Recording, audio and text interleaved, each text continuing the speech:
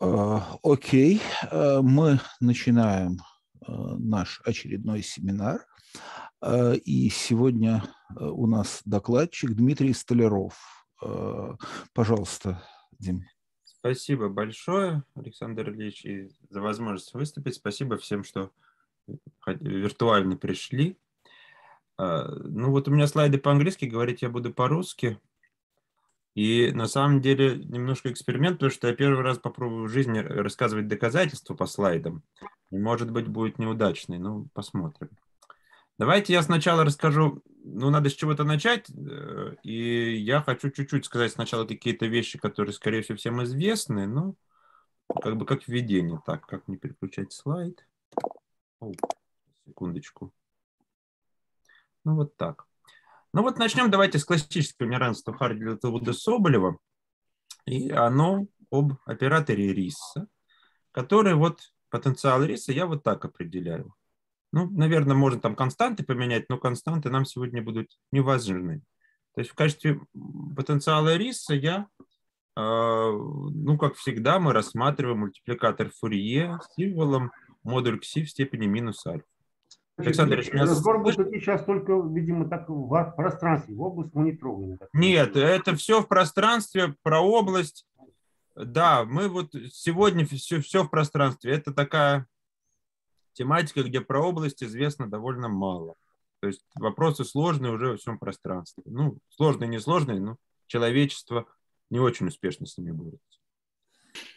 Вот. Э, значит, э, ну вот модуль Psi э, у нас, что про это можно оператор сказать? То, что он инвариантный относительно вращений, его символ, ну, это здесь случайный элемент в тематике, который сегодня будет обсуждаться. А что важно, что он однороден, порядка минус альфа. Ну вот, используя два этих факта, можно написать такую формулу, что это сверточный оператор, ну, что, в общем-то, неудивительно, если это был мультипликатор Фурье. Но он, его ядро будет тоже инвариантно относительно вращения и однородно, однородно порядка альфа минус d. Ну, константу c d альфа можно явно вычислить, наверное, там гамма-функции появляются, но это трудно, и в избежание недоразумения я ее решил не выписывать. Зависит от нормировки преобразования Фурье, наверное, но лучше не надо. Хорошо. Но, конечно же, когда аналитик... Да, я, как и в прошлый раз, я докладывал год назад, прошу прощения, что матфизики здесь особо не будет, и даже уравнений не будет, но так как Александр Ильич дал добро, то я считаю, что эти вопросы сняты. Вот. Ну, основ... когда аналитик видит оператор линейный, первый его вопрос – это в каком смысле этот оператор непрерывный. И ответ на этот вопрос дается неравенством Харди Тулда Соболева в простейших ситуациях, когда у нас пространство ЛП. Вот, оказывается, что этот потенциал риса непрерывно отображает ЛП в ЛК. Тогда и только тогда. А мой курсор видно, скажите, пожалуйста. Да, вполне.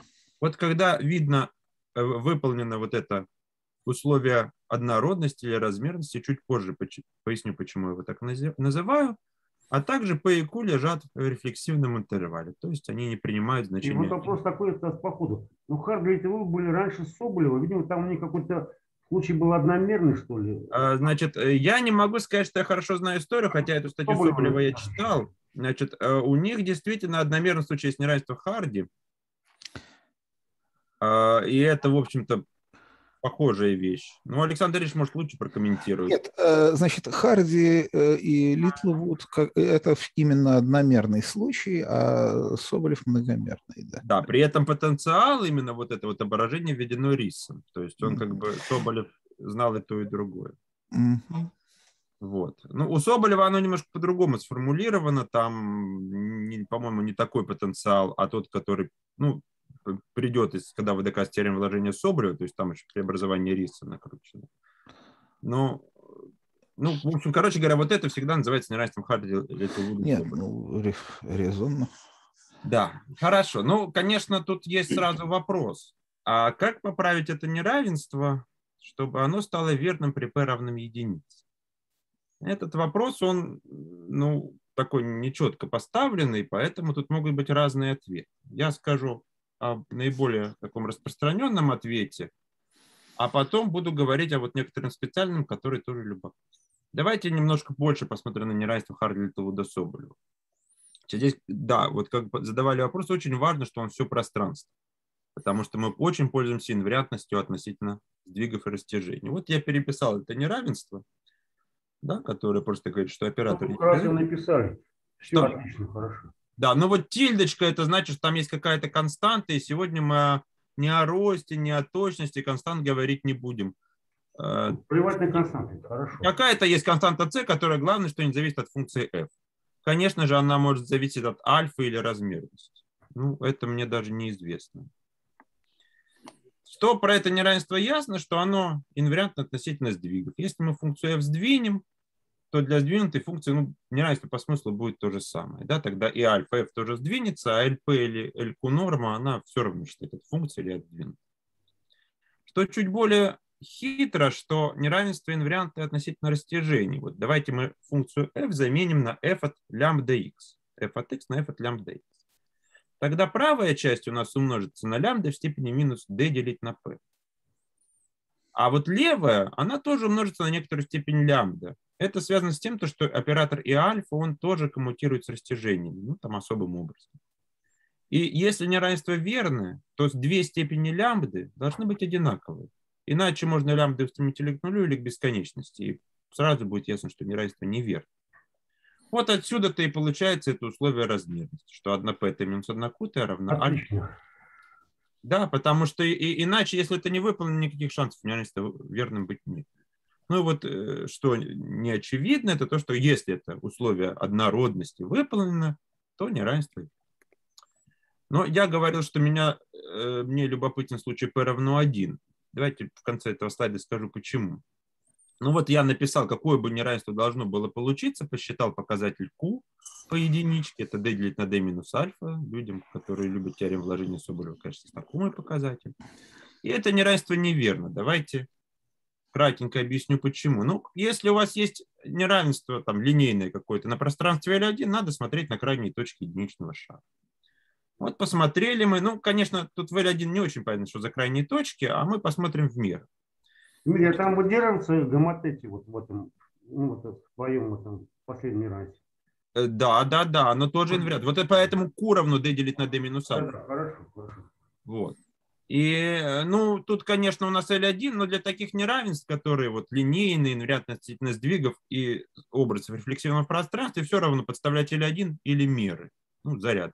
Или H1, да, хорошо.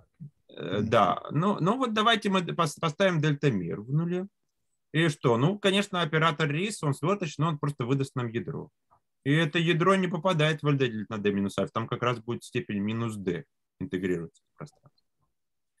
Давайте я пару слов скажу, почему мне случай L1 больше кажется, ну, кажется важным. Наверное, для специалистов по уравнениям может быть не столь это важно, потому что ну, у вас обычно люди работают с функциями, а вот если мы думаем о геометрической теории меры, где, конечно, потенциал риса тоже очень важен, он измеряет размерность множеств и там мер, то, конечно, хочется в это, в это неравенство поставить меру или заряд.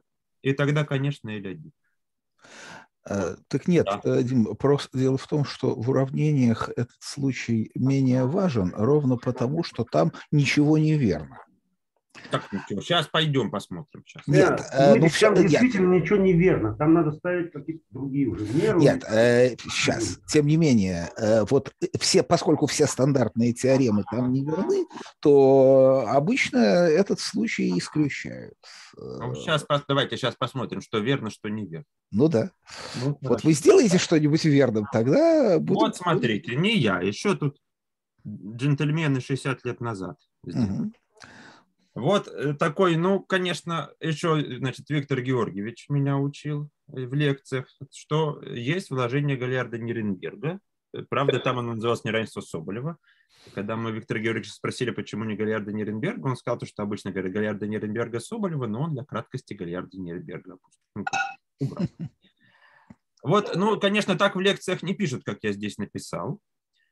А, а, но что же тут написано? Вот в качестве g мы возьмем векторную функцию со значением в пространстве rd. Это чей-то градиент. f какая-то пусть там гладкая, приличная функция, э, с компактным носителем. Что а g ее градиент. Ну, можно померить L1 норму векторной функции как-то. И окажется, что здесь неравенство станет верным. Ну, почему? Например, потому что и 1G, и 1, ну вот если чуть-чуть И1 добавить преобразование риса, которые сингулярные интегралы, то можно превратить И1G просто в F.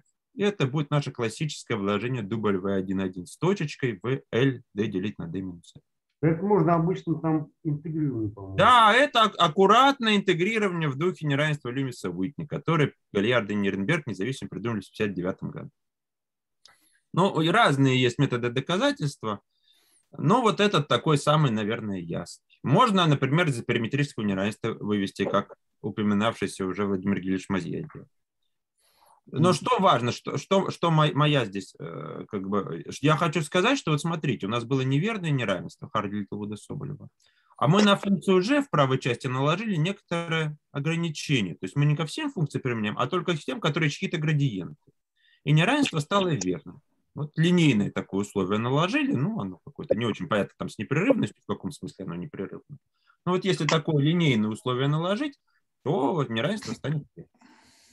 Давайте пойдем дальше. Ну, э, тут вот есть, э, я уверен в этой ссылке в библиографическом плане, но тут есть некоторые детали. Называется неравенством Стейна-Вейса, или Стайн-Вайс. А, и что здесь? Здесь у нас условие, ну, Q у нас то же самое, вот D делить на D минус альфа, который по однородности получается, но F теперь из класса Харди. Ну, можно думать про аналитический класс Харди, что преобраз... f, значит, тогда комплекснозначная функция, у которой преобразование Фурье в верхнем, э, ну, в первом квад... Ну, это не октант, а, значит, ну вот. Короче, Артан, говоря, артант. Артант, да, который продолжается до аналитической верхней полуплоскости. А ну, можно вот, кто... Говорят, там Штейн здесь, а Штейн здесь. Ну. Правильно говорят. Штайн или Штейн? Штейн. Штайн. Это Элистайн, ну, в смысле, который... Э, ну, он сам родом из Польши, да, я, это, я, я, у меня книжка его есть. Штейн, раньше книжка была Штейн. Вот Слушайте, она... но я с ним был немножко даже, он ко мне один раз на доклад пришел, он Стайн. Стайн. Стайн, да? Да, его, к сожалению, не стало, сколько там, три года назад. Ну, это такой отец гармонического. А, да, это большой математик, конечно. Да. А, да, да, но вот что, либо можно H1, что оно вещественное вещественный класс Харди, его немножко сложнее определить, но тем не менее, вот если такое сильное условие, оно в каком-то смысле сильнее, чем условие Галлиарда Нирнберга, то тогда, но на самом деле другое, э, то тогда вот неравенство Харди Литлвуда Соболева становится верным. Значит, конечно, это неравенство еще в 27 году доказали Харди и Литлвуд, но у них была функция на прямой, Q равно 2 и ряды Фурье вместо преобразования. Давайте немножко перенесемся вперед. Уже не так давно дело было. И вот тут теперь у нас g это опять векторная функция. Соленоид... Ну, и мы про нее просим, то есть это векторное поле, чтобы оно стало соленоидальным. То есть дивергенция векторного поля равна нулю. Вот тогда неравенство Харлита Соболева станет верным. Это доказали Бургейн и Брезис, э, ну, примерно в 2004 году. Там они немножко раньше доказали это для замкнутых кривых, ну вот когда у вас есть векторное поле вдоль замкнутой кривой. А потом надо лишь воспользоваться теоремой Смирнова о том, что любое соленоидальное поле в те раскладывается. Ну, там еще Миронеску в первой части участвовал, но детали. И эта работа Бургейна и Брезиса, она породила очень бурное развитие в плане того, что люди пытались такого сорта неравенства доказывать на пространстве L1. Кстати, Стайн тоже отметился. Вот. Но вот что эти три условия говорят? Они говорят, что э, функция g правой части, если это чей-то градиент, если он лежит в пространстве Харди или ее дивергенция равна нулю, что она не может быть дельтамерой, да? Ну, в каком-то смысле. Потому что если мы дельтамеру сюда подставим, то мы знаем, что неравенство будет неверно. А если неравенство верное, значит, эти линейные условия, три линейные условия, запрещают установку дельты. Сейчас, э, э, правильно ли я понимаю, что вы хотите в каком-то смысле, ну, вы или, может быть, я хотел э, сделать так, чтобы, ну вот, только дельта мера и... Что здесь только дельта мера и мешает? Да, сейчас я про это скажу. Значит, ну, кстати, в каком смысле? Ну, надо просто формально с этим условием взять все меры, подлежащие это, такому условию в смысле обобщенных функций. Угу. И дельта-меру нельзя, ну, например, дивергенция даже, ну, как бы векторная дельта-мера, да, если у нас поле, то это дельта-мера как бы тензор на какой-то вектор, но нетрудно видеть, что дивергенция не может быть равна. Вы не определили пространство в H1, но это сам следы какие-то получаются. Но это... Да, можно следы... Нет, сейчас. Чего? H1? Ну, ну, там, как пространство, я же не помню. Просто в области это следы там. А, Нет, это немножко другое. Это, ну, да, это следы аналитических функций, например. А, вот. Да, да, можно так. Ну, значит, давайте я должен отметить здесь теорему Ваншафтинга, которая в каком-то смысле подытоживает это развитие. Там было много работ, довольно известных математиков и даже весьма известных, и разнообразные работы. Но вот э, эта теорема Ваншафтингена, она, мне кажется, здесь, ну, как бы некоторым итогом. И потом были работы, ну, вот это как, я не знаю, как по-русски сказать, ну, не то, что краеугольный камень. Вот, э, значит, что же он написал? Он написал линейные дифференциальные условия, при которых вот неравенство Хардлита Луда Соболева вид. Значит, ну кто здесь А? Это некоторый дифференциальный оператор, который однороден в какой-то большой степени. Он, конечно же, векторный. Ну, например, дивергенция, градиент, ротор, симметричный градиент или там какой-нибудь еще сложнее. Значит, надо объяснить, что такое эллиптичный. Ну, ну, эллиптичный, да, вектор. Подходит какой-то? Какой-то Лаплас нам подходит вообще? Лаплас не, вот сейчас объясню, почему не подходит. Потому что Лаплас U равно F, можно F дельта меру поставить. А, хорошо, хорошо. Как раз Лаплас, то, о чем Александр Ильич говорил, как раз самые такие приятные операторы не подходят. Но некоторые подходят. И что здесь написано? Тогда и только тогда, когда соответствующее пространство мер, то есть вот эта мера с таким дифференциальным условием, не содержит векторных дельта. Значит, конечно же, это можно в терминах А переписать алгебраически, но так как я не очень хочу э, вот здесь обозначения трудные вводить, там ничего трудного, конечно, нет, но к ним надо привыкать, и давайте не будем. Просто я хочу сказать, что теорема, которую можно реально применить. Сейчас, э, можно вопрос, вот э, да. как это, э, э, что значит лап, вот объясните, почему Лаплас здесь не подходит. Я Смотрите, потому что надо, чтобы вот такой... Во-первых, Лаплас не подходит, потому что, э, ну, потому что Лаплас u равно f, у вас f может быть обобщенной функцией э, дельта меры. Ну, вот Подождите, вас, что такое сейчас? Что такое? Где, а, где тут f? А, погодите. Значит, смотрите, э, э, куда Лаплас не подходит? В качестве А? Да. Э, ну, потому что сейчас в качестве А Лаплас не подходит, потому что... Э, сейчас, секундочку. Э, нет, ну, потому э... что э, если мы туда подставим дельта меру в Лаплас, то будет не ноль. Вот и все. Извините, что завис. Сейчас. Э, а, то есть наоборот, что это оператор, наоборот. который обнуляет дельта меры. Да, это не вот не градиент, для градиента там будет ротор, да? Ротор будет. Я понимаю. Нет, но я говорю, что э, Извините, просто да, я тут... что-то подвис, как-то запутался. Нет, сам. но э, вы... дело в том, что фраза написанная э, не, не очень да, э, да. ясна. Значит, какое пространство здесь для мира? Это те меры же, такое, что А этой векторной меры равно нулю. Вот как соленоидальные меры. Да? Вот. И поэтому, да. а те, которые решают уравнение Лапласа, так там, ну, если вы сюда хотите в G поставить Лаплас F, то тоже Лаплас F может быть дельта мер. Ну, можно минус первую степень взять. Это Нет. будет обобщенная функция, но это не беда. Сейчас, подождите. Нет, опять не понимаю, что вы говорите. Давайте. А вот если А – это Лаплас, значит, дельта G равно нулю. Э, это тут дельта меры вроде бы вообще ни при чем. Э, дельта G ну, равно нулю просто не бывает, да, функция не бывает из L1. Да.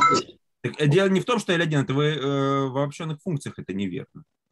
Дельта G равно нулю, это ну, оно не равно нулю. Это так можно в терминах символа этого оператора. Ну, ну, в смысле обобщенных функций просто.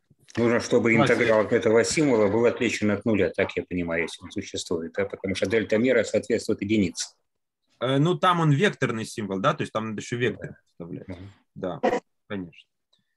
Значит, ну вот это, я говорю, да, с этими векторными операторами вся проблема. Я хотел не об этом говорить. Давайте Нет, я... может, может быть, просто э, вот вы, вы тем не менее сказали, а тут, по-моему, зависли все. Ну, хорошо, чуть-чуть, да. чуть-чуть отвисли. Да? Все. Тут как-то непонятно написано, Э, это пространство, вот оно и не содержит дельтамеру, потому что... Что такое соответствующее пространство мира? Альфа от дельты не равен нулю. Какое соответствующее пространство? Кто такое? Вот, которое то, что э, оператор от меры равен нулю. Так ну, оно не содержит дельтамеры. Он не равен нулю.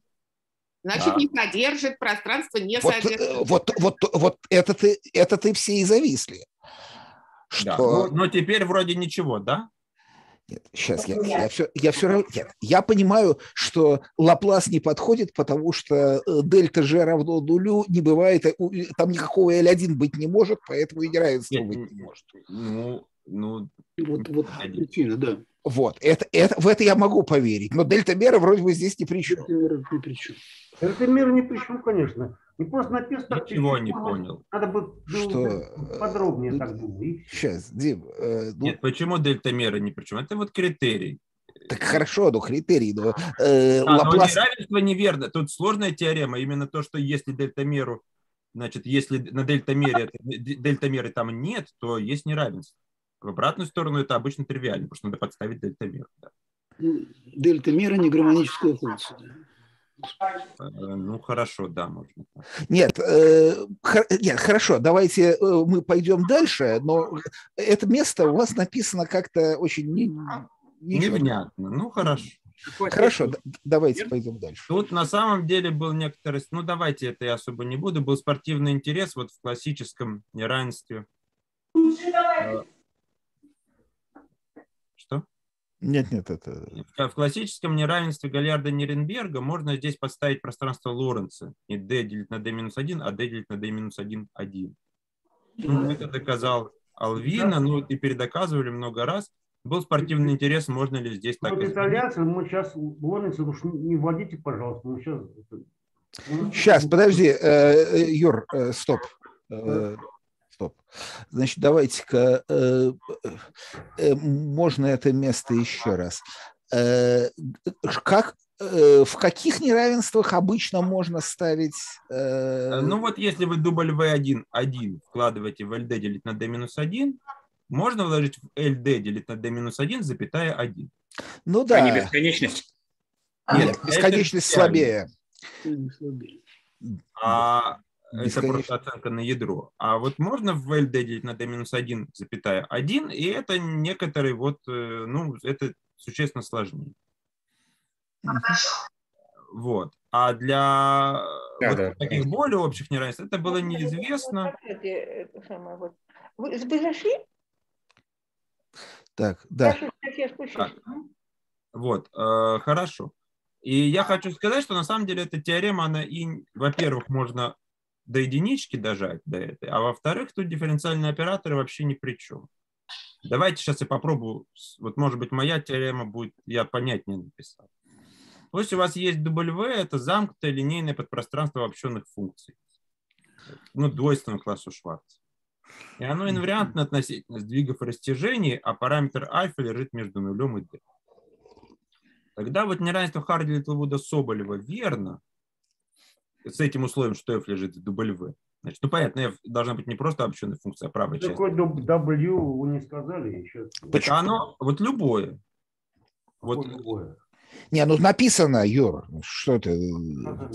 Просто замкнутое подпространство а, окей, двойственного окей, класса окей, Шварца, которое вероятно касательно сдвигов и растяжений. Хорошо. Тогда вот неравенство верно тогда и только тогда, когда в этот пространство W не попало дельта да? Например, это можно задавать дифференциальными операторами, можно взять класс Харди, можно что-то еще. Вот. Ну, это я так похвастаться, это Мазье не имеет отношения. Угу.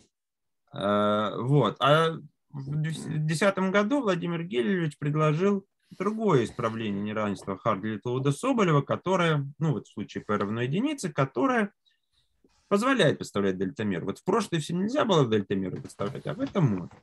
Но, конечно, если мы что-то приобрели, значит, мы что-то потеряли. И мы потеряли линейность. Давайте я сейчас эту его гипотезу напишу, но она довольно громоздкая. Вот мы хотим теперь в левой части, давайте сначала посмотрим на неравенство. Что у нас? В правой части стоит Лапласиан f. Это то, что раньше было запрещено. А в левой части стоит какое-то выражение фи от градиента. Значит, градиент f – это что-то типа оператора Риса первого порядка, примененное к Лапласиану. Такой вектор. LP норму, то есть LD делить на D минус 1 норму, померить нельзя, потому что, ну вот, потому что это неверное неравенство. Там вот дельта меру А э, я предложил взять некоторую функцию φ, которая меряет векторы. Ну, что-то типа сингулярного интегра... условия ну, на сингулярный интеграл. Типа. она вот, значит, от... имеет ту же степень однородности, чтобы неравенство было инвариантно относительно угу. гомодлете. Но при этом э, вот она какая-то нелинейная. Значит, вот эти два условия, что f гладко, сейчас, секундочку, угу. и, и, интеграл равен нулю, они не, не очень важны. Это условие, чтобы, ну, как бы, потому что неравенство нелинейное, здесь нельзя говорить, что докажем на гладких функциях, а потом перейдем к пределу. Угу. Это просто чтобы, ну, они такие технические условия. Нет, вот. ну, а вот все-таки, подождите секундочку, э, что c бесконечный с ноликом, это... Ну, можно c1. Техническое, но, а вот что среднее равно нулю, это... Сейчас, сейчас будет ясно. Э, это, наверное, не очень техническое. Ой, а зачем я здесь написал? Здесь это не надо, это глупость. Вот а, это, здесь этого просто это, не надо. Это, это просто не надо. Это там будет более общая гипотеза, где это надо. Это, ага. Здесь надо, что интеграл Лапласиана равен нулю. Что, ну, конечно... с нелинейным потенциалом, ну, ну Сейчас, э, значит, секундочку. Э, в каком-то смысле, в каком-то смысле, вот предыдущие результаты, они, ну вот э, такие, что то, к чему применяют оператор, а, оно вот какому-то условию да. э, вот, типа не, ну, не вхождение дельта-функции, да. а здесь э, э, к символу оператора э, применяется. Ну, не, здесь скорее просто LP-норму заменили чем-то вот чуть-чуть более знакопеременным. Ну, так я говорю, то есть так, чтобы да, туда там, символ не влезало. А здесь к образу ограничения накладываем на образ. Какой-то пример можно хотя бы? Сейчас, сейчас примерчик будет. Ну, тут их, на самом деле красивых нету. Есть некрасивые. Ну, давайте я закончу. И, значит, вот гипотеза в том, что это неравенство, оно верно тогда и только тогда, когда вот такое интегральное условие. Верно, что интеграл фи от z по единичной сфере равно нулю. Uh-huh. Ну, это на самом деле, сейчас скажу, откуда взялось. Пример будет, но он чуть попозже. Значит, давайте чуть-чуть обобщим эту гипотезу, чтобы доказывать. Так, потому что не очень удобно. Ну, вот смотрите, у нас в левой части был градиент, а в правой Лапласиан. И связаны они вот этой формой. Да? То есть мы видим, что здесь... Ну, для финитных функций, так, давай, для финитных хорошо. Ну, хорошо для финитных, да. У нас же они там были ценой бесконечности, поэтому это верно. И мы хотим эту формулу заменить на что-то более общее. Ну вот давайте у нас будет некоторые ядроны. Да, здесь y делить на модуль y степени d, а мы хотим заменить каким-то другим. Угу. Пусть у нас катильда – это липшицевая функция на сфере со значением в каком-то RL. Ну и соорудим из нее ядро однородности альфа минус d, как у нас раньше было, помните? В начале? Просто, просто по однородности. То есть э, это некий аналог э, этого, э, это некий аналог, э, господи, Кальдерона Зигмунда. Ну, только... в каком-то смысле, да, только Нет, это дробный Кальдерон Зигмунда. Да, совершенно, о, вот это как раз то, что ну, я хотел сказать. Уравнение дельты в степени альфа равно минус дельта. Ну, дельта альфа там, конечно, степень надо тоже от этого вопроса степени альфа смотреть, конечно. Ну да. Нет, это, это, ров, это ровно дробный кальдерон Зигмунд. И более того, я бы на вашем месте это, э, ну вот, когда вы об этом там где-то пишете, э, э, прямым текстом сказал. Ну, вот. может быть. Это, это, э, это осмысленно. А, я, и... я согласен, да. Я что-то я об этом думал, но забыл. Это дробной степени опять Лаплас, конечно. Я сразу чувствую. Вот. Э, и Нет, тут, смотри, тут векторные штучки. Векторность довольно важна. Сейчас, так подождите. А э, век... Оно в РЛ действует. Так, Ну, а, на е- самом деле, я а- сейчас- а если не ВРЛ? А тоже есть интересные случаи, но их не так много.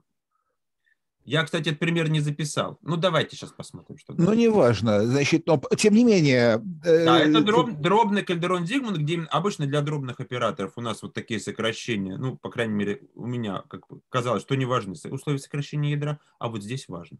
мгм. Так, ну, правильно, потому что он, он предельный, зараза. Ну да, да. Вот, значит, p, как обычно, равно d делить на d минус альфа, а φ это вот та функция, которая будет измерять. Она берет RL и положительно P однородно. Значит, что это значит? Значит, то, что фи от Tx равно T в степени P, фи от x. Но T не отрицательно. Да, то есть она не обязательно симметрична. Мгм. Ну, это техническое, в принципе. уже. Ну вот, и у нас вопрос, когда вот такое неравенство верно. Берем какую-то функцию f, про которую мы будем предполагать, что интеграл 0, и она там в каком-то смысле гладкая, непрерывная. а насчет L там что известно? L и D, как они между собой? А какие угодно. Ну, L может равно хоть быть D. оба по единице. Вот можно оба по Может единице. L равно D, может быть, вот главное. Может быть, это хороший пример сейчас будет. Сейчас я до Вот примера я дойду. и говорю, да. Понимаете, я все-таки, ну, как-то больше аналитик, и мне проще с абстрактным ядром, чем дифференциальным оператором. А. Или L равно один, один, может быть, а L равно один. может быть, один там есть интересный пример, я его, к сожалению, не записал, и так как у меня компьютер, а- один вообще-то, да. то, то я, ну, в статье есть. То есть я сейчас не смогу э, его нарисовать, потому что это я, мы полчаса потратим, чтобы я мышкой это нарисовал, но есть. Так, ну давайте посмотрим на необходимость. Ой, прошу прощения, давайте я щелкну назад. Вот мы такое неравенство занимаемся. Оно однородно, инвариантность сдвигов и растяжений. Функция фи какая-то. Нам хотим сейчас необходимые условия получить. Ну, конечно, мы поставим f равно дельта 0, хотя вроде нам было запрещено, потому что гладкость, ну ничего. Давайте посмотрим, что получится. Ну, справа, понятно, величина. Тогда у нас, как и, и- и в прошлый раз, действие f на ядро – это просто само ядро, и, пользуясь полярной заменой, мы получаем вот так. То есть можно интеграл по всему пространству расписать как интеграл от нуля до бесконечности и интеграл по сфере. И я воспользовался моей формулой однородности для ядра. И что же вышло? Ну, вот я воспользовался условием однородности, и у меня d здесь, вот это вот альфа минус d, когда выносилось, умножилось на степень p и превратилось в d. Ну, тут еще альфа минус d, не d минус альфа. Поэтому, короче говоря, здесь будет ровно расходящийся интеграл. Что, собственно, неудивительно. И единственный способ, чтобы он сошелся, чтобы вот это вот было нулем. Ну, я говорю, вот, вот абсолютно типичный Кальдерон Зигмунд. Да. Э, да. э, Также это Ну- условие, да, там, естественно, условие сингулярности интеграла, да. Ну, Ну да, Ну, это Ну самое. как, оно так-то так, да не совсем так. Нет, сейчас. Оно ровно так. Другое дело, что, как сказать, доказательства вашего Нет, результата. а тут смотри, вот тут все-таки, Александр Ильич, там тот, те интегралы не зависят от ЛП, этот зависит от функции фи. Это все-таки немножко, ну и то, а похоже, я согласен, да. Но Да. не совсем то, не совсем. То есть здесь, например, вот пары функций фи и к, они как-то друг другу соответствуют. Да, тут смотрите, интеграл фи, ну вот, вот, вот, кстати, я условие-то не, не выщелкнул. Вот, вот такое вот условие, что фи от э, Катильда. Ну, я понял, что, может, доказательства не успеем, это как раз хорошо, там технически начинается трудно. Мгм. Дмитрий, это Мазия сам писал или с кем-то в авторстве? Не Нет, это, Сейчас, это- сейчас. Это Мазья, у Мазьи уже было, когда он Это Мазья не писал. не писал. А, ну, Это мы сейчас, я Мазья- обобщаю, чтобы удобно было доказывать. А, ну хорошо. Значит, ну тут еще плюс-минус стоит, потому что можно поставить минус дельтамеру. И Мгм. это в случае примера Мазьи, там, значит, фи была, там было ядро К симметрично. И Мгм. поэтому э, это было одно и то же, а у нас оно не обязательно симметрично, поэтому это как бы два разных условия. Ну, теорема. Ну вот если необходимые условия верные, то и, те- то и неравенство верно. Ну вот тут длинно написано, но суть это. Здесь как раз надо, чтобы интеграл f был равен нулю. Значит, в гипотезе Мазии там f это был Лапласиан g, и поэтому оно автоматически было выполнено. Мгм. Ну и вот условие сокращения то же самое. Вот. Ну, сейчас будем доказывать потихоньку. Ну, что-то там, я так чуть-чуть скажу, как это доказывать, но бе- без деталей. Так, давайте э, посмотрим пример. Давайте возьмем d равно 2, альфа равно 1, то есть мы как бы э, хотим один раз проинтегрировать. И k от z это самое простое z, как в гипотезе Мазьи. То есть будет оператор, который Лапласиан превращает в градиент. А в качестве функции φ возьмем вот такое вот квадратичное выражение. То есть, ну, просто квадратичную форму. Там не важно, положительно определенно, не положительно. Не, не важно. Как раз не, не надо, чтобы было положительно определенное, а то не- неудачно выйдет. Для положительно не, не выполняется. там Да, для положительно как раз... Ну вот, и вот, то есть мы Хорошо, таким вот хорошо. неравенством инте- интересуемся. И оказывается, что оно верно. Тогда это... Сейчас F, F1 э, это это пер- производная по по первому, первому координате, аргументу. Ага. Два по второму. Ну, а, а, а h это вот три коэффициента. И оказывается, что, смотрите, нам что надо посчитать? Интеграл функции φ по единичной сфере. Тогда интеграл кси1 в квадрате x2 в квадрате одинаковый. Мгм. А интеграл кси1 кси2 из симметрии ну, по одной из координат 0. Вот так-то. Сейчас, так Поэтому- А2-2 тогда у вас опечатка внизу. Да, во-первых, А2-2, а во-вторых, я здесь квадрат забыл. Ну, квадрат, ладно, это все забывают. А, Ну, 2-2, а вот прошу А- А2 прощения. А2-2 Но это- я прямо сейчас не могу поправить. Нет, хорошо, все, пон- понятно. Ну да, э, тут так, на самом деле я пытался написать нормальное доказательство, а, видимо, это было зря. Ну, Потому хорошо. что и так не ясно. Ну вот там на самом деле есть красивый пример размерности 1, когда k от z это тоже z, то есть такой сингулярный интеграл, но он как бы меньше связан с уравнением в частных производных. Значит, ну вот конкретно это неравенство, оно было известно еще Мазье. На самом деле Мазье и Шапошникова доказали его в восьмом году, и ну, по нему, оно доказывается просто аккуратным записью через преобразование Фурье. И можно точную константу вычислить. И, собственно, на основании этого неравенства, видимо, Владимир Геевич гипотезу и высказал. Вот. То есть кое-что здесь можно... письмо, между прочим, если Что? Ну, когда статья получится, напиши ему письмо. Вот, пишу. Так это- Нет, в смысле, а мы с Владимиром Геевичем говорили, он э, даже прочитал половину доказательства. А, ну, Второй сказал, что не хочет ставить, потому что там слово Мартингал участвует. Он Не, не хочет. Можно было не писать там, в общем-то, ну, ну, ну так, да. Но, да, похвалил ему, по-моему, было приятно. Давайте я немножко поболтаю, собственно, как мы это будем доказывать.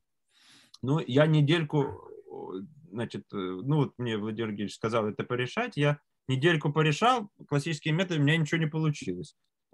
Ну, и я подумал, что здесь, наверное, вот у той теоремы, которая, вокруг которой мы долго непонятно было, у нее тоже доказательство, по сути, там, ну, это был в этой области довольно большой вопрос, и как избавиться от дифференциальных условий, как пространство Лоренца сделать, и поэтому нужен был новый метод, и мы с моими коллегами э, Рами Аюшем и Михаилом Вачеховским придумали некоторый новый метод, что э, ну, это вот задача про Мартингал. Там, на самом деле, у Бургейна немножко про это было, но не очень явно и, видимо, не очень понятно подожди, Бурже или Бурге? Там был такой математик Бурже, он или Бурге? Нет, Нет, э, нет, Бургейн это ну, другой. А, ну, я не Бурге, я думаю, Бурже еще был. Ну, я- Нет, нет, Нет. это, это Бургейн.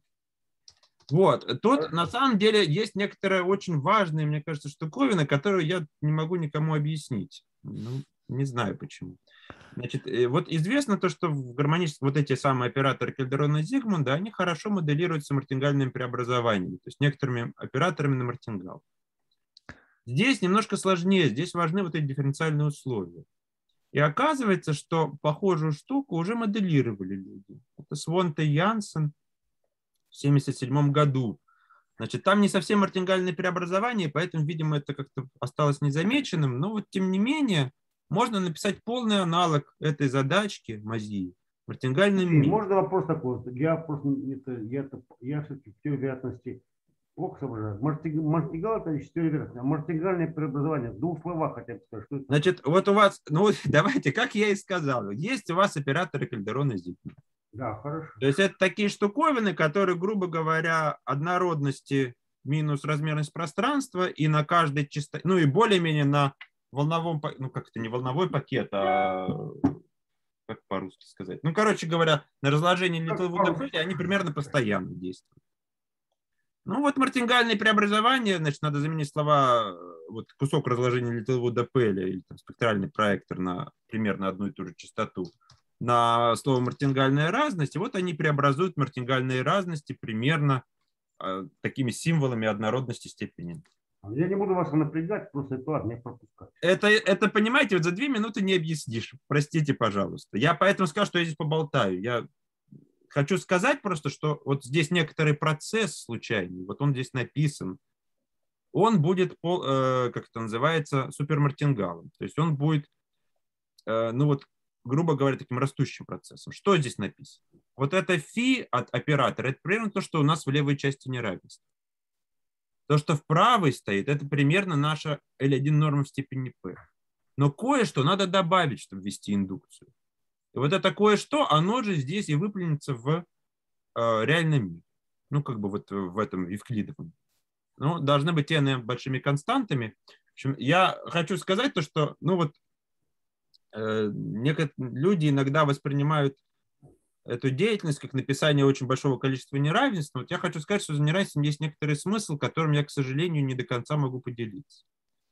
Ну вот тут, да, функция МП, тут возникает некоторая простенькая специальная функция, до которой догоня, догадаться просто решать задачи в фидовом пространстве было бы очень А если ну, написать... уже рассказать такие детали, которые мы даже давайте, сейчас вот все, все, сейчас слить, давайте простое начнем. Слить ничего не можем, правда? Да, давайте, вот э, смотрите, было у нас ядро, катекс, а я его разрежу на части. Это, наверное, понятнее. Ну вот смотрите, то есть я беру модуль x, когда у меня от 2 в минус n минус 1 до 2 в минус n. И это называю ядром kn. Ну, k меньше равно, чем n. Это вот такая частичная сумма. Ну, что такое? Вот пусть у меня было мое ядро k, вот оно здесь нарисовано.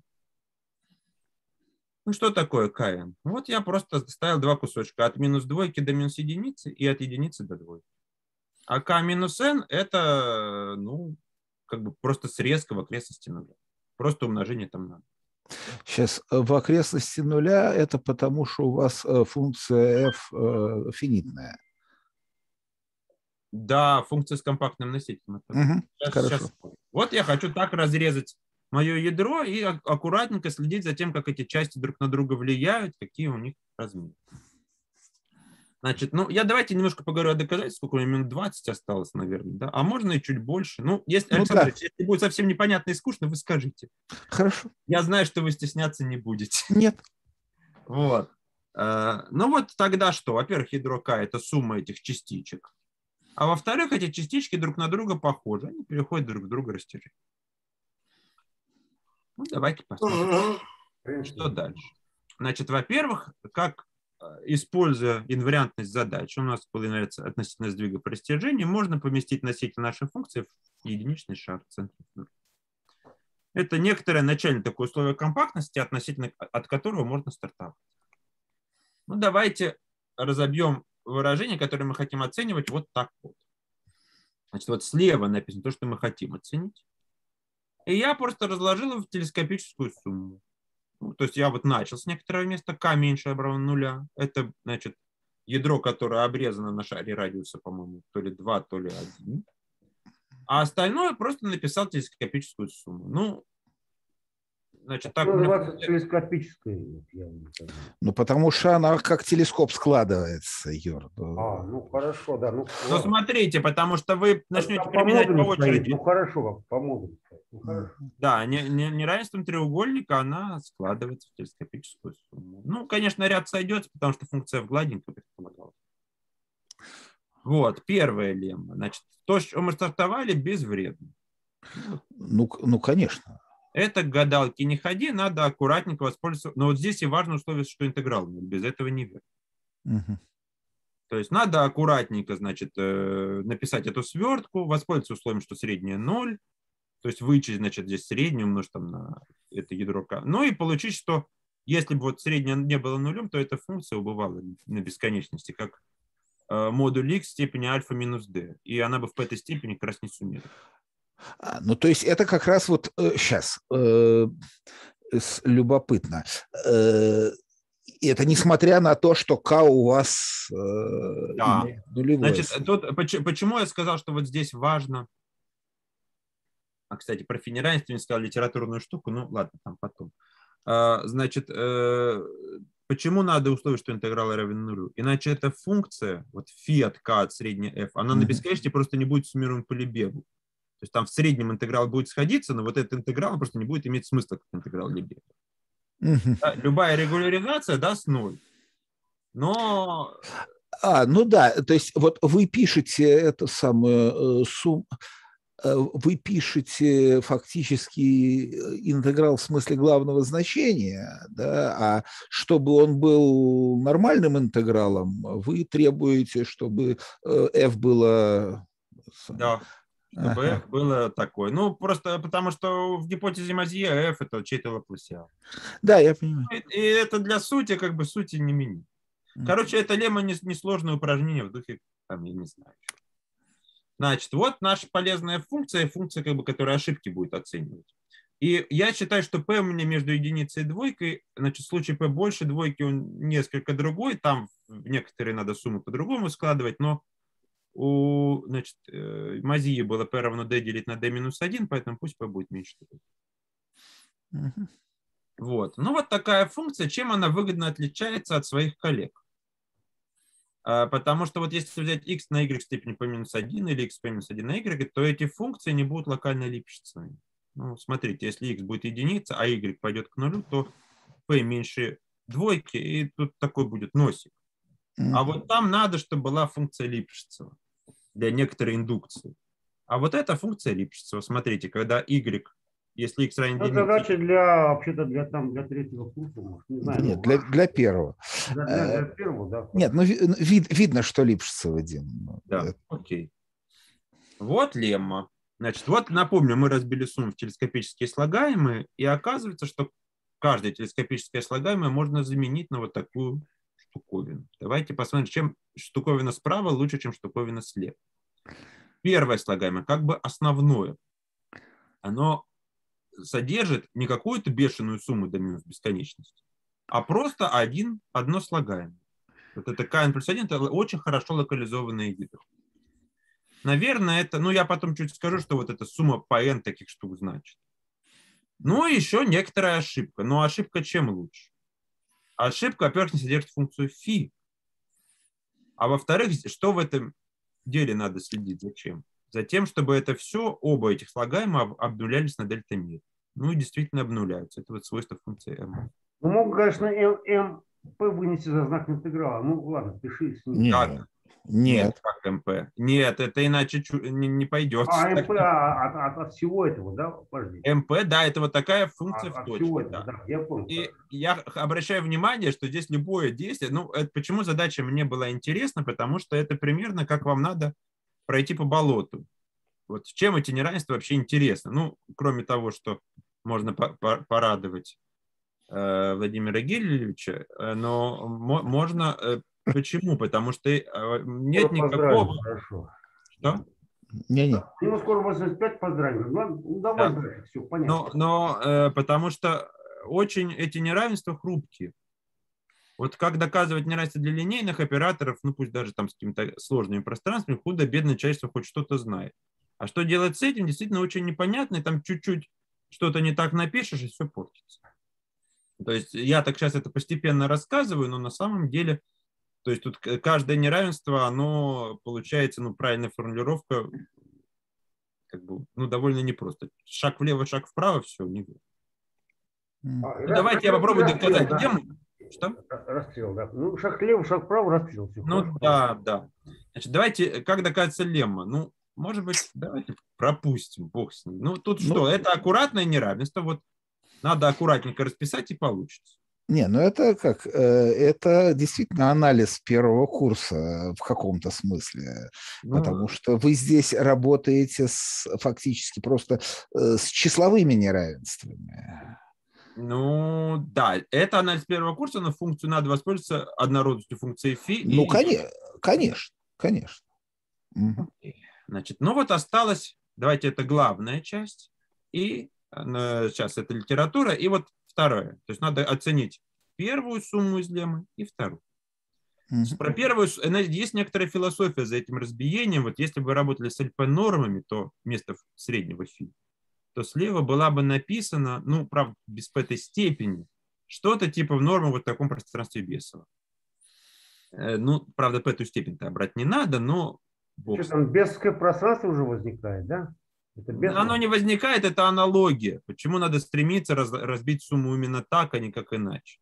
Потому что для э, вот, теорем вложения э, там, Соболева, Галиарда Неренберга, Соболева, Илья Бургейна, Брезиса, они верны и в чуть, для чуть более сильных пространствах в шкале Бесова, наиболее сильных. Их там доказывать как бы проще. Ну, в каком-то смысле. Если пользоваться вот этими мартингальными, проще доказать. Ну, а, вто- а и второе надо неравенство доказать. Значит, какой план дальнейший, я попробую немножко объяснить, как доказать теорему 1. Она в чем-то сложнее, потому что здесь функция φ осталась. А теорему 2 я докажу в случае p равно 2. А Теорема 1 на самом деле тоже, в случае p равно 2. Они по-прежнему, как бы эти доказательства, ну, такие не классические. Алло, алло, меня слышно? Да, вполне. Да, только не забудьте потом какой-то пример там нам привести. А пример я приводил. А. А. Извините, но тут, тут да, это такое вот спортивная деятельность скорее, потому что не очень понятно. э, Э, Нет, э, Дим, я думаю, что это вопрос времени не очень большого, потому что неравенство вот типа Кальдерона Зигмунда, они, ну вот, все-таки... То есть там-то был пря- прямой заказ, конечно, от э, уравнений. Вот. Тут, Э, видите, слева очень это вредное выражение. Ну, такое непонятно. Ну, посмотрим, может быть. Но вот смотрите, вот сейчас будет лемма, которая меня до сих пор радует. Вот хотим мы оценивать такое выражение. И у нас К0. Я написал 0 вместо n, потому что тут все перетягивается себя, поэтому достаточно... Мы хотим как-то получше оценить фи от К0 свертка с f. Что стоит справа? У меня стоит L1 норма функции f и некоторая штука, которая иногда лучше, чем L1 норма. Что я здесь сделал? Я взял умножить на x минус c. Ну, казалось бы, эта функция растет на бесконечность. Но вот если носитель функции f диаметр его единичка, то справа стоит штука, которая лучше, чем L1 норма. Например, потому что она обнуляется на дельтамере. Вот. И это не так глупо, потому что вот оператор К0, он же локальный. Он, в общем-то, действует на, на расстоянии, там, ну, может быть, корень из d, там, что-то такое. Поэтому логично пробовать его, подставлять в него только функции, э, ну, вот с локализованными носителями. Там, авось потом разобьется. Ну, Как доказывается лемма? Значит, вот будем пользоваться таким замечательным неравенством. Ну, неравенство тоже это локальная эллипсовость плюс однородность. мгм. Давайте его перепишем и напишем цепочку неравенств. Ну, что же здесь произошло? И почему я хочу это показать? Потому что вот это ровно то место, где мы воспользуемся условием сокращения. Это как раз Мгм. лемма в духе Кальдерона Зигмунда. Мгм. Значит, вот мы берем этот интеграл слева и вычитаем из него интеграл, который равен нулю. Вот этот слонопо- Мгм. интеграл фи от вот этого слонопотама – это ноль. Почему? Что здесь стоит? К0 в некоторой точке. Y. Y потом будет равен c, тому, где достигается минимум. Интеграл f – это вообще число. Вот я взял и вычел нулевой интеграл. Значит, интеграл этого 0. Почему? Потому что интеграл, помните, была функция котильда. По каждой сфере будет равен нулю с центром в точке y. Ну и k0 это такой вот отрезочек таких ядер. Значит, 0. Сейчас, э, стоп, я э, вот это место я не понял совсем. Оно, не, оно не, не ясно. Э, Значит, смотри, F, интеграл от f он 0 или не 0? интеграл от f не 0 теперь. f это А. будет некоторый кусочек функции. А, все, теперь понятно. Да, то есть тут именно пользуемся условием сокращения на k0. То есть это, смотрите, константа Мгм. На k0 от x минус y, фи от этого и интеграл dx. Там, когда ноль стоит перед ним, там уже не важно, что и, по-моему. Ну, хрен. Нет, э, ну хорошо, т- э, нет, ну тогда это действительно Кальдерон Зигмунд. э, да, Это, это Да. правда. Вот. Ну, дальше мы, дальше мы аккуратно пользуемся вот этим неравенством сверху. Записываем в таком виде, значит, переставляем интегралы, пользуемся тем, что k0 функция ограниченной вариации. И вот тогда такое усреднение, ну, как бы даст здесь модуль z минус y, это ровно то, чего мы хотели. Мгм. Ну, хорошо. Это основная лемма. Ну, теперь что мы делаем? Мы, ничтоже сумняшися, разбиваем нашу пространство на кубики радиуса 1 и пишем вот такую теорему. Значит, что слева стоит то же самое, что и раньше, а справа стоит сумма по кубам вот этих вот локальных размеров. Тут есть некоторая техническая тонкость, что кубы при этом очень сильно раздуваются. Значит, как доказывается эта теорема примерно? Значит, что здесь стоит? В правой части стоит, ну, как я и говорил, надо применять предыдущую лемму к функции f умножить на характеристическая функция кубика Q0G. Какое-то атомное разбиение. Там, типа того. Ну, это обычные кубы с целочисленными там сторонами, все. Да, вот просто в каждой точке решетки взяли кубик со сторонами единицы, с которой, у которой это там левый нижний угол. Оси параллельно квадратным осям. Это можно? Конечно, конечно. Ну, написано integer cubes. А. Вот. Надо пояснить. Ну, как, я не знаю. Мне, мне, мне кажется, когда человек не, не объясняет, какие кубы, наверное, это они. Да. Вот, хорошо. Ну, да, извините. Но тут в чем дело? Если мы просто так применим это к функции, вот пусть f, fg -то это f умножить на характеристическую функцию этого кубика. Тогда слева k0, оно, конечно, ну, это такое очень близкое действие, да, оно, это свертка с функцией, которую носили в, там, в единичном шаре. Но все же они немножко друг за друга будут цепляться. А функция фи, она нелинейная. То есть там просто так какого-то неравенства треугольника не напишешь. Чтобы их расцепить, приходится эти кубы там раздувать, как-то так хитрить. И поэтому здесь кубы раздуются. Это потом будет сложно в доказательстве, а я не, не, не успею сказать. Надо будет Ну, применять- там константа, конечно, не должна от d зависеть. Не должна зависеть от d. Нет, это почему? А, д- а d-то что? Она не должна зависеть от n, а d может зависеть. Почему? Может? Конечно. Где? d это размерность. Это размерность. А, а, я Да. думаю, а, размер кубика у тебя. Подожди. От йод не должно зависеть, правильно? От йод не должно зависеть, от йод Да, не зависит. Я, извини, я промахнулся, да. Да, вот. А И, и, и от f не зависит. Ну вот. Ну и теперь я это еще растянул. Когда будем растягивать, вот из, из, из этой второй нормы вывалится 2 в степени n. Ну, это надо и посчитать. Э, Вот. Ну и, и что теперь? Теперь давайте докажем для случая p равно 2. Прошу прощения, я назад сейчас скажу. Вот я сейчас вот это выражение справа одно. Для p равно 2 что здесь будет? А вот это станет просто L1 норму превратится. Да. Ну что, давайте я потихонечку сейчас закончу доказательство этого, а там посмотрим. Мгм. Вот, вот я беру такое элементарное неравенство. Смотрите, если мы здесь вот э, заменим x минус y на f от x, интеграл по, скажем, по y. Нет, по x здесь y заменим на c, на котором единственно достигается минимум на этом кубе, то как раз это будет левая часть Мгм. а интеграл уменьшится. Так, и таким образом наша сумма по 2 в степени n и по всем кубам превращается вот в такую сумму, потому что 3 в d QNG на 3 в d QNG, ну, значит, QNG это понятно, вы берете такое разложение, ну, как это называется, ну, не кратно масштаб, ну, ну, не временно-частотное разложение, а когда, короче говоря, QNG... появилось. А что такое n, э, Дмитрий? Ну, Э, n это, значит, помните, было время. Ну вот, э, как бы мы сначала суммы по n локализовали. А там потом вы просто, D, значит, D йод, потом n йод. Тут я ж... а, Ну, ну, смотрите, а, ну вижу, вижу, вижу, там написано. Вот, значит, n это бы- было, вот у нас эти были kn, и кубик qny это кубик, координата которого, значит, сторона э, у него 2 в минус n, ну и координата, я, значит, я понял, спасибо. Ну, то есть такая же сеточка, только в 2 в n раз точнее. Подсеточка. Хорошо. Ну и вот по разделению двух таких кубов, в общем, короче, преобразуется вот такой интеграл. Сумма по всем таким n и j. Ну а что же это такое?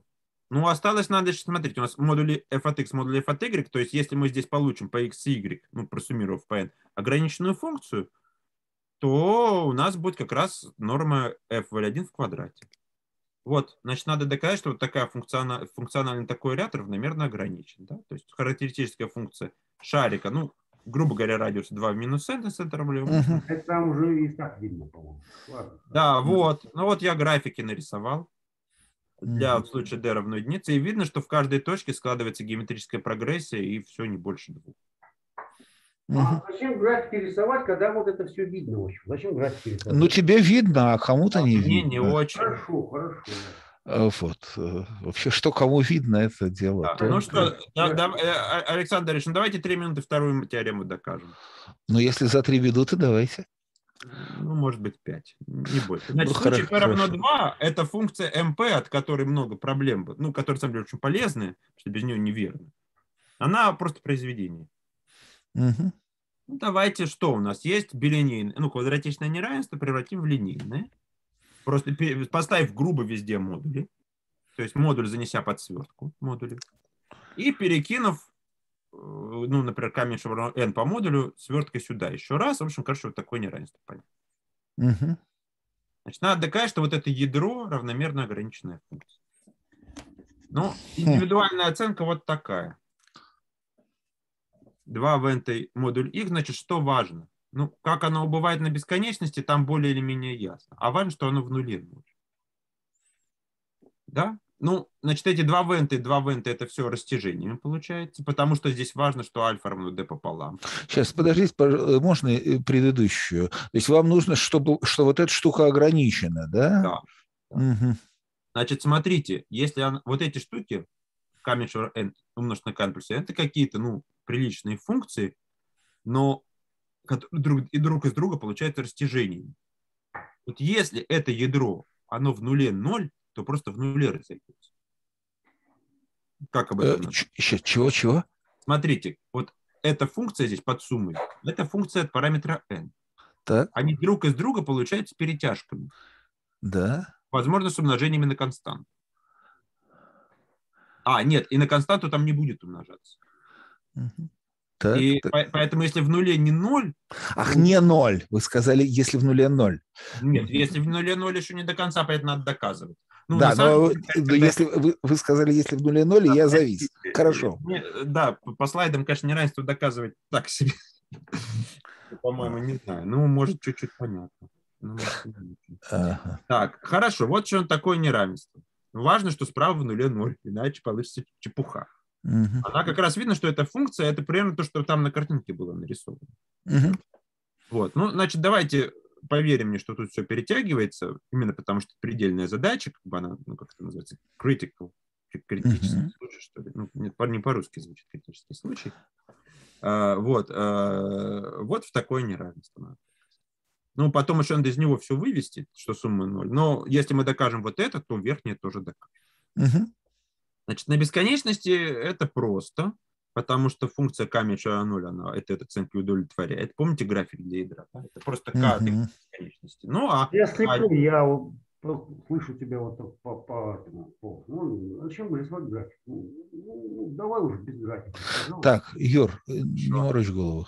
э, ну, не знаю, мне с графиком понятнее. Ну, люди разные, да. Но не смотри, если не нравится.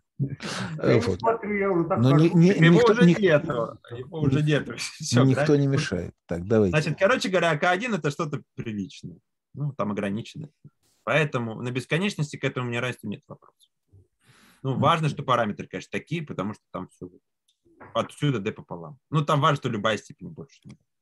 Значит, теперь надо объяснить, что эта функция, ну, в нуле, значит, наша функция Липшицева, которая слева написана, это свертка. Ну, почему? Потому что вот здесь написано, меньше равно нуля ограничено, а модуль k1 это функция из BV. Значит, тут есть, надо быть осторожным, потому что k1 два скачка на сфере радиуса.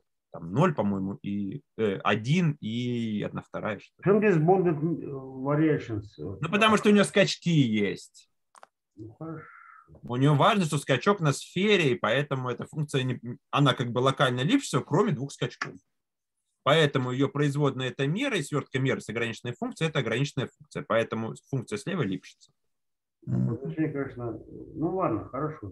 Мгм. Вот. Ну и все. И, а в нуле почему нуль? Потому что мы э, о- аккуратно резали ядро ровно так, что носители у камешевого нуля и К1 дизель. Это здесь очень важно. Вот просто без этого никак. Ну, понятно. Да, то есть это на самом деле просто прочувственная боль некоторая, особенно с функцией МП тяжело, там, понятно, там никакие вот эти линеаризации не работают. Да, но сумму осталось сложить, э, вот, значит, надо сложить сумму, вот такую, и простите, пожалуйста, но это график. Потому что то, что дальше написано, это шварцевский хвост, и, в общем, не шварцевский, но Вот. Ну, собственно, на этом доказательство для P равно двойке закончено. А более общее, там, значит, нужна теорема Хьютона на трех решетках. э, Ну, и еще и по- поработать руками. Не, но это уже действительно излишество тут. Ну, это мы э, не будем в докладе, это я просто запутаюсь. Все, Ага. спасибо большое за внимание. Хорошо. Э, Так, пожалуйста, комментарии, вопросы. Ага. Дмитрий, вам мне понравился, я с удовольствием посмотрю там, что вы доказываете, конечно, я... А это как ну, ну, ну, графики же, графики. Как же, Ну, ну, графики, ну, вообще-то, там я тоже не рисую. А вы ученик Владимир Гелевич, что ли, я так понимаю? Не- нет, Нет. Нет. Вот, э, ученик Сергея Витальевича. Вот. Но, но, впрочем, сейчас это уже не имеет значения, поскольку, поскольку вы, э, вы уже давно, так сказать, э, сам по себе. Э, вот. Дмитрий, ну вообще-то я скажу, только знаете, единственное, что, конечно, были, были какие-то замечания, ну, как-то поправьте их, пожалуйста. Вот. Ну, какие-то были походы там. Так, ладно, Юр, А, э, давай э, это Я самое. все, я сказал, что работа, в общем, доклад был хороший. Ну, Дальше хорошо. Ну, хорошо. Дима, Вот. а скажите, пожалуйста, Да. а, вот э, у вас э, в правой части всегда норма L1, а в левой вы там э, можете э, норму чуть-чуть усиливать. А можно ли наоборот норму в L1 ослабить, скажем, до L1 слабого в пространстве Лоренца? Ох, сейчас. Я боюсь, что нет. Как только не выпуклая метрика, там сразу все эти условия ломаются. Значит, конкретно за Лоренца не отвечу. Я знаю, что любая попытка пройти в P меньше единицы, вот пространство Не, но это другое все-таки. Лорен, э, Лоренс это нормальное Нет. Лоренц он тоже там дело в том, что они не выпуклые. То, что это там не- не- принципиально нет линейных функционалов, то есть это вот принципиально не локально выпуклое пространство, и из-за этого вот как-то это накапливается, ничего не получается. Ответ неточный и немножко эзотерический. То есть, и честно, не скажу. Исторически не надо. Вот. Спасибо. Хорошо. Е- э, так, еще э, комментарии. Что ж, спасибо. Так, Саш, прекращаем писать.